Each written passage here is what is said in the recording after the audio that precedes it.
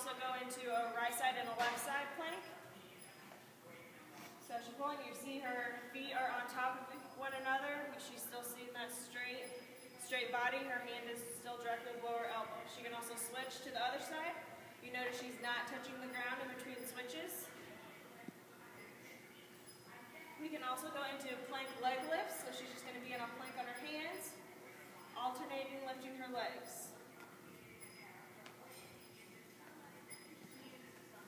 Also go into um, elbow to hand plank. So she's coming down into an elbow plank, coming up into a hand plank. We also have uh, shoulder taps. So she's tapping uh, the opposite shoulder. Same thing, she's still keeping her back flat, not letting that butt come up. Shoulders nice and strong.